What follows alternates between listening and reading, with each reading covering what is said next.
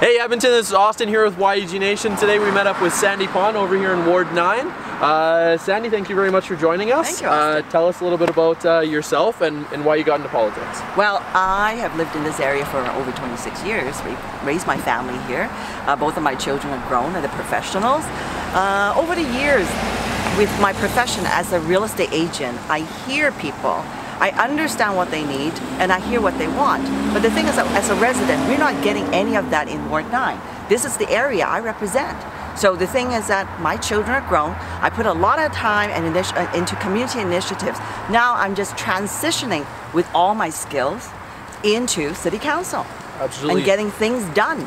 So with your with you uh, running for city council, what what was the biggest thing? What was the one thing that really got you involved or wanted to get you involved with city council? Why? What was the one kind of turning point that made you really want to get involved with city council? Oh, well, one thing is that, you know, the uh, council that we've had for 19 years, uh, Councillor Anderson is retiring. Um, and understanding the growth and the dynamics of this particular ward, uh, we really need a lot of, uh, we need people with experience, maturity, and understanding how to make decisions and dealing with big dollars. Uh, through my own experience in business and developments and, and also with community initiative and as a leader in the community in various uh, uh, organizations, uh, I know that I can bring that to the table. Um, the other thing is that it's not just one thing, it's multiple things that is really uh, getting people up, get uproar in, in the areas that, you know, the transportation is the number one because Terwilliger Drive that's been congested for so long, especially rush hours, it, it's not getting easier to travel around here. And it's been the last 30 years and it has never expanded. Uh, Chappelle, which is one of the Heritage Valley, east and west, uh, that area has tremendous growth. A lot of children, a lot of young families, a lot of young professionals like you moving in the area. But there's only one road going in, one lane going each side. That's ridiculous. They closed three, four times, they pave it, repave it, but then they didn't resolve the problem, which is how you decrease volume, right? When you're bottlenecked, you're increasing volume. So how do we do that? The other thing is that we talk about schools, parks, taking park sites away uh, to build density. I have a lot of density. There is enough market housing around the area. Uh, I understand there is affordable housing issues. I deal with that with other initiatives in downtown. Uh, but I think that things are better planned. And most important is that if it's planned right, then taxpayers will save money. So my platform is Smarter City, which is dealing with planning, dealing with decision making, community consultation, and then lower taxes. Not that we're lowering the taxes or, or, or eliminating taxes totally. That doesn't make sense because you need money to build infrastructure for the future. Right. The thing is that how can we budget properly? So there is no overrun, there's no delays on project, and this way I can make sure that money are well spent, and then we can allow to have other the, the extra money that we can spend on better better initiatives that we can solve problems, real problems in the city. So that's what makes me, you know, invigorated to do something and to run for city council for Ward 9.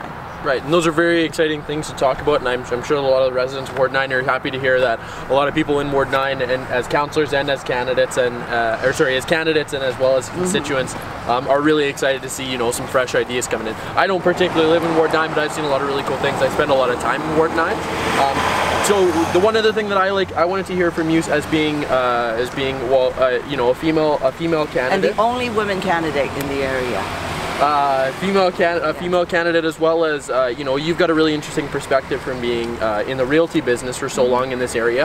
Um, how do you what do you what do you like about Ward Nine or how do you feel Ward Nine differs from other places in the city? You know, especially with it being so diverse. You know, with the North Side and Riverbend all the way down to the new areas here in you know Chappelle Terwilliger. Oh, because it because the areas continue to expand, and there's so much potential. And with potential, with growth, there's going to be complication, right? So I want to make sure for the next 10, 15, 20, 30 years that things are laid out properly, that people are not being, uh, in a way, they felt ripped off. Uh, some of the residents tells me that that's the term is that they go into an area and they don't get the amenities They don't get the community halls. They don't get the library. They don't get the schools built. They don't get the uh, community hub where people can walk, they bike, you know, and to go into have uh, uh, be involved with their neighbors and, and meet their friends. That's what helps make a vibrant, healthy community. So I want to bring that kind of planning and making sure that these barren fields are going to be built with something smart and things are efficient and it's going to be the developments of the 21st century. That's cool stuff. Uh, with uh, one of the things we love to talk about with YEG Nation is the Young Edmonton community. Um, what are you seeing? Uh, there are some common concerns in the Young Edmonton community in Ward 9 um, but as well, you know, just some things that you want to be building for infrastructure for the younger Edmonton communities. Uh, not necessarily specifically for those younger communities, but you know, things that are going to be of, of, of interest to the people. Um, well, the, because I do have two millennials at home, I get a lot of feedback from them. You know, so the thing is that what they are experiencing, I also hear every day. Um, things that you know, developments and housing and infrastructure, roadways, and amenities that can grow with them, right? Uh, because eventually you have a family, like from a young professional. Uh, you've got lim limited budget coming out of university or finishing school, uh, and then later on you're going to be finding somebody and get married and hopefully have a partnership or some sort, and uh, and then you have a family. So what can I, what can we do here in Ward Nine can assist you to grow with you, right? And so there's because every time if there's an interruption, it costs money for example, you right. you got to move to a different area just because of your job or because of travel distance or could be you know traffic congestion. Um, what what can we do to increase the better quality of living and improve your lifestyle? And so this way, you can save money. You don't have to work as hard, but you can travel. You can, you know, to to invest in your interests or maybe build a business like some of these uh, small retailers and business owners here. So how can we bring something on the table to the table for everyone? And for young people, after all, you look at it, the demographic for Edmonton, the average age is 35. Yeah. So you know what? So we have to plan things.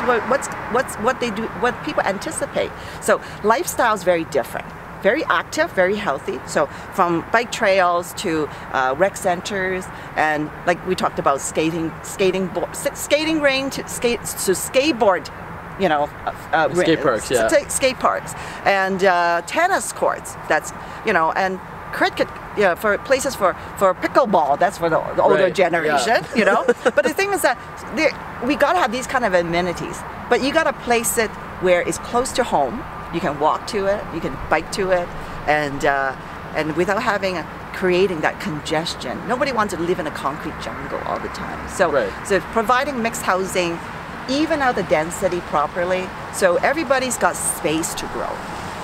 Right. Well, I think that my favorite thing about this kind of area of the city is that because we're expanding so rapidly, you know, there's a lot of these empty, like you said, there's an empty field literally right beside us that's got a construction fence around it. It's really interesting to see what could come out of a place like that in a ward like this, in an area like this, because it's so fresh and so unique. And we do have uh, aging population. Yeah. And a lot of them have, like myself, have, I'm not that old yet, but the thing is that I do, I am in a sandwich generation. So with my parents, uh, my, my dad, if he wants to go into a condo, now, do I have something close to my home that I can easily get, you know, to go visit him and that they don't feel that isolation?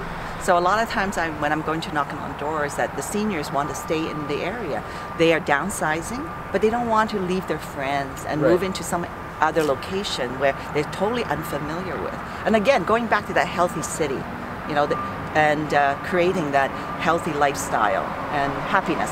That's very important. happiness is key, money, no matter what. Money can't buy everything. Money can't buy everything. You're absolutely right. Uh, one other thing I'd really like uh, for you to speak directly on with, for being you know the only female candidate in Ward Nine, um, how do you feel that how do you feel that that affects you? You know whether that's positive or negative, or whether or whether you know that feels it gives you an advantage. How do you how do you feel that being a woman ca uh, candidate in Ward Nine uh, affects you? Wow. That is the $64,000 question. Double-edged sword. Being the only female, it makes you stand out, but I do believe competency, ability, and how you think, and is your heart in the right place for the people. That's right. most important. Uh, but, you know, again, female uh, politicians are, are, are not that many. If you look at the cross spectrum of, of, of uh, party politics to municipal politics, um, women tend to, and I had that conversation in uh, inter vivo uh, with a couple of young ladies, um, that how do they get engaged or come into politics? A lot of them will, will tell me, they said, you know what, I'm in the childbearing age. I have to think about, you know, if I'm going to have children, uh, how is that going to affect my, my partnership? Uh, with my husband or the significant other. Um, and the other thing is a career path because you are taking time out to do something that is passionate, right? That, that you want to do for the community, but not necessarily getting the financial reward and the advancement in a career. So right. it's very, very different. Um, and I have many friends who are past politicians and present politicians, uh, female ones, and they will tell me it's not an easy job. It's because you do face extra criticism. Absolutely. What are you wearing today? and uh, you know, how come how come she look a little bloated or a little chunkier, or how come well she should she should be wearing pants and not a, a dress? You know, these kind of silly, silly questions and comments that men usually don't face.